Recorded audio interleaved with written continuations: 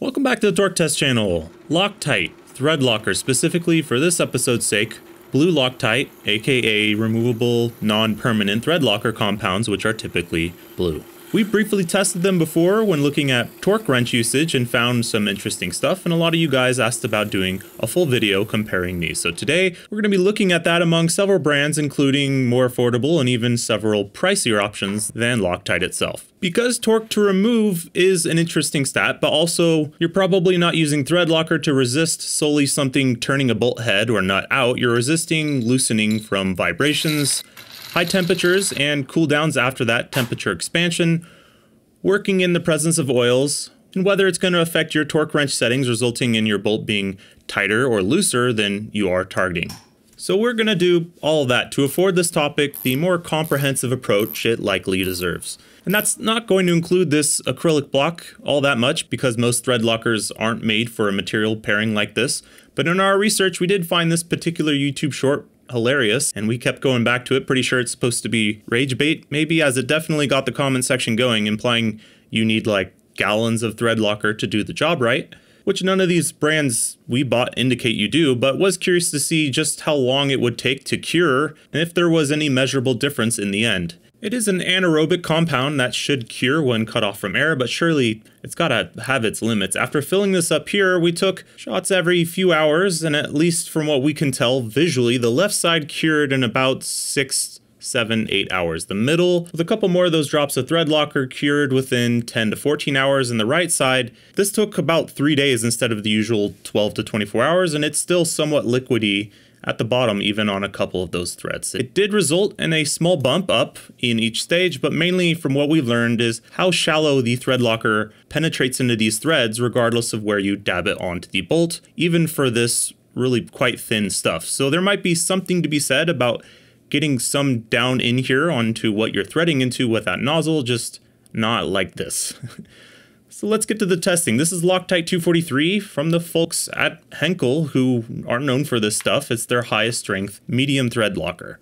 And that means it can be removed without ruining your day or needing a torch, and all these are versions of a 243 and perform best after a good shaking, which we first do as well. Many of them even call themselves Model 243s. First thing we're going to look at is sort of like a good old fashioned how much torque it takes to remove after curing for 24 hours. But with a twist. These will get heat cycled to 225 Fahrenheit, like common engine block temps, a half hour at a time, three times brought back to room temperature, then left overnight. Well below the 300 Fahrenheit, all these advertised being within their specs, each 7 16 thread bolt here will get four drops of the good stuff, then finger tight, just testing the gripping power of this compound. For all of our tests you're going to be seeing here, sure you could use more of this stuff, especially on these which have plenty of thread engagement to work with, but any that might bleed out won't be measured by us, so we're trying to keep it rather simple for comparison. Starting with the real McCoy here, the Loctite, that's 260 inch pounds on the dot. Using inch pounds here just for more resolution, but that's like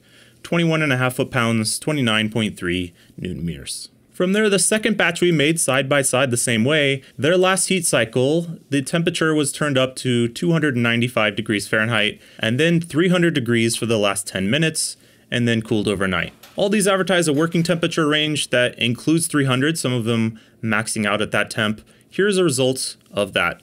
176 inch pounds, a bigger drop than we expected having long used Loctite. This was rated for well over 300 degrees. Let's see how the others fare. Starting in order of price from here on out, this is Deplonic or some sorts. It's $5 for a bottle size similar to a full-size Loctite bottle that are currently going for 17 bucks. And this stuff is like really bad. It's terrible. Lots of torque, sure. I mean, maybe that's a good thing for you, but enough to probably ruin a few projects under the hood next time you go to remove them. It maxes out this Vampo tight range digital torque wrench, which we are using for this sort of thing for its accuracy, in either the 225 or 300 degree baked batches. It's enough for you to basically max out a 12 inch ratchet as well and start to twist the entire vice jaws here. High resistance to coming loose is a good thing, but this is just going to break stuff. Imagine this threaded into something composite on a car or even soft aluminum. We think they're probably just making batches of red permanent strength thread locker and sometimes using blue dye to sell it as the medium stuff because Only a torch is going to remove this, and even then, one of them took extra torch time to do so. This is getting a zero disqualified. Don't buy the cheapest stuff you can find. Who knows what they're putting inside of it. There's a reason these are bolted joints and not welded. It's supposed to be serviceable. It's not supposed to be like epoxy. If I wanted to ruin the next guy's day, I'd reach for the stuff that's colored red, not blue, just to keep my life simple. All right, stretching our budget all the way to seven bucks. Now we have a brand I'm going to call Noco. We bought this as a two pack for only $5 a piece, but as a single Model 243 blue bottle, it's $7. The 225 degree 7 16 thread, 5 8 inch hex bolt takes 202.6 inch pounds to remove.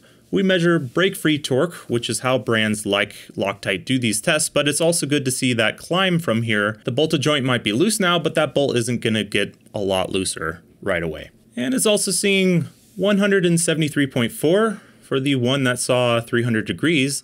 Less of a gap between the results, though both below Loctite, not shabby though. Okay, and the last of our options that cost less than Loctite, we have Eskonke. Now, you may not have heard of the brand, but noticed a few months ago they were number one in sales for the category in Amazon, so I bought some and have been using some since, simply because this type of viscosity dripping out on the bolt is nice. It's more like a gel than a watery mixture, that Loctite usually is, so it doesn't run off and get wasted when you squirt it everywhere. Though, no idea if it's any good. It turns out, though, through dumb luck, which is the type I'd have if any, so far looking pretty good. 292.2 inch pounds, so that's definitely the most so far.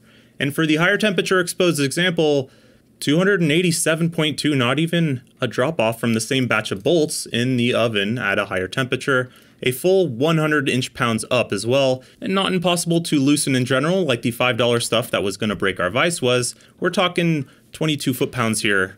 Nice. And now for some options that at least cost us more than Loctite when purchased, first being JB Weld. Not just JB Weld, but like their own thread locker Permalock. This is about $18 for an equivalent amount of the $17 Loctite bottle. Let's see how it does.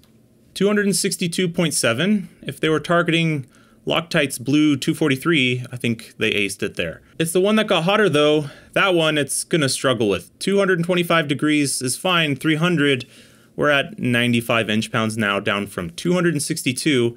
It says 300 degrees capable right on the packaging, but more temperature sensitive it seems so far. Permatex, though, you can't have a showdown like this without the auto parts store number one hero. This is the Permatex 24200. It doesn't appear to have an exact match to Loctite 243 in the range, but this is like their blue stuff. And also what they call their blue gel. Now, gel I've seen before, it drops similar to the $10 Amazon stuff we bought. This is more like paste. The application is super sweet though. You twist to push some out, then you glob it on, no fuss, no muss. But for an equivalent amount of regular Permatex, that's about 20 bucks and you'd need a few of these 10 gram tubes of the gel stuff for about 45, so not the cheapest route either.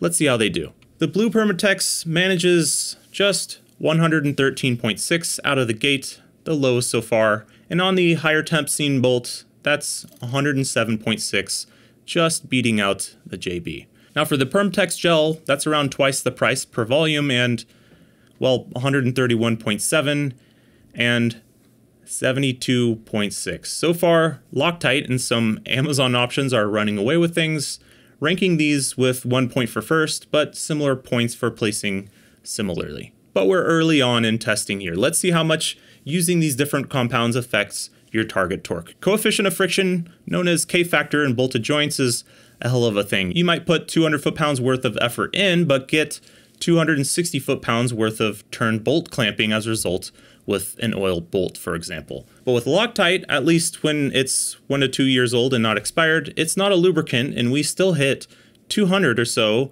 as we've showed last time in our video. And that remains true for blue Loctite, as does the 17% increase we saw with Permatex. Let's see which of those things are more common, the 17% or the zero. The Amazon $7 Noco, when calibrated to the same setup, 200 foot-pounds worth of torque wrench, getting three spots of thread locker like all of these will, fresh hardware for each, gets up to 232 foot-pounds worth of tight on a 200 setting, acting a bit like a lubricator to the effect of 16% around where the Permatex sits. The $10 Amazon option, this being less watery and more like a gel than a water substance, has an effect you might expect. Hitting under the torque target here, instead of acting like a lubricant, it's acting the opposite, though not by much at all, about 5%. JB Weld is sort of locked into that Permatex zone here. It also gets 234 17%. The Permatex gel paste-like stuff fares better, acting as obviously less lubricating substance, good for plus 8% here. Loctite really knocking it out of the park. I guess they are the standard for a reason, and even NASA has studied using this stuff in space. One last series of trials to overcome vibration. Rarely will your bolt or nut just be chillin', otherwise you probably wouldn't need a thread locker. We bought this drill powered spray can shaker and made our own pipe canister to put different brands of thread locker on these same bolts and nut sets, all to shake around together. Same batch of hardware from the same source, 3 8 16 thread, which is what most brands advertise their specs using on thread lockers, and two washers sandwiched together in the same way, facing the same directions for each brand. Three examples of each, which I made die grinder dots on the head of to signify one bolt set gets finger snugged, one assembled with oil on the thread, same amount of oil for each bolt, which should be a tough ask, and one bolt set tightened to 120 inch pounds, 10 foot pounds. Then a series of 450 RPM DeWalt drill in forward, then reverse, and 1000 RPM M12 in forward and reverse. 10 seconds apiece, off and on 5 times apiece. Was hoping to have some differentiating data here for you to show on screen, but essentially all brands of threaded lockers snugged by hand and torqued made it through this testing, though some of them are looser now than others, and we'll be measuring that. For oil resistance, this is how it all broke down. Amazon $10 option and Permatex gel never cured. 24 hours later, they were both finger loose. Permatex blue, Amazon $7 option, and Loctite all became loose within stage one of shaking one round of the DeWalt drill loosened them all completely free. Then they were added back into the tube for fodder for the rest of that brand's testing. And if you're still playing along at home, that leaves just one brand, only JB Weld Permalock, which was tight when we started testing, tight after stage one of the DeWalt drill, and still tight after stage two of the M12 1000 RPM, and further was the only one to even need to go into torque testing here 21.6 inch pounds, cementing it as by far the best choice to use when you're in the presence of unavoidable oil. Though it does appear Permatex also sells an oil resistant model number that might be worth a try as well. Many of these, like the Loctite, were supposed to be oil resistant as well. Okay, and all that's left is to find out how loose these bolts and nuts have gotten after banging around for controlled amounts of time and speed. The Loctite was pretty loose on the finger snugged 3 8 here, just 32 inch pounds, only having the thread compound to absorb all those hits. Tightened though, it fared much better. The thread locker enjoys some thread clamping pressure here and puts up more of a defense against those hits. 229.8 inch pounds, 110 over what it was originally tightened to. The $7 Amazon Noco is not phased by that though. It puts up somehow a much higher 106.7 inch pounds on the snugged bolt and nut, that got shaked around for the same amount of time. And on the tightened one, 262.3. Some of these folks seem to have figured it out.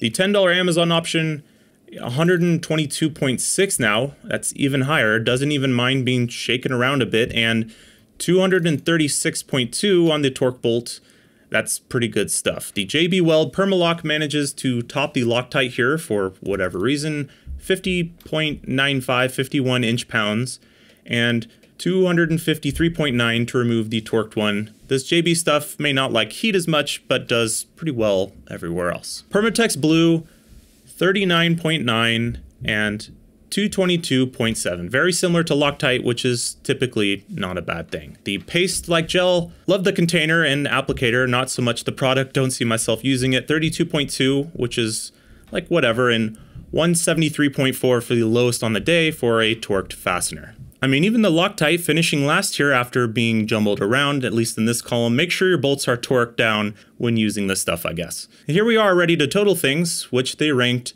as so. First being best in the category, and here the JB several steps ahead of the others, even jumps from first to thirds and fourths here because it did several places better. Totaling all this, you get an average placing of, so lower is best, 2.67 for Loctite, 2.67 also for this $7 Amazon option, remembering we had to throw out the $5 option we bought, like I personally threw it in the trash, so not every cheap option is going to be great. 2.0 flat for the $10 Amazon Eskonke, 2.83 for JB, 4.0 for the Permatex, and 4.33 for the Permatex Gel. Placing them like so. For once, the best selling on Amazon being for actual good reasons, it seems. And Permatex, I think they have closer match for their red stuff. Let us know if you want to see permanent Loctite tested. If you were looking for a reason to throw out your Loctite, I don't think you found it. It's standard for a reason, but that's not to say others aren't actually trying. I'm buying more of this stuff right now. Obviously, their model numbers and colors do mirror Loctite. They're sort of copying their friends' notes on that one. But the viscosity is a nice change, and overall, this type of performance is impressive. If you want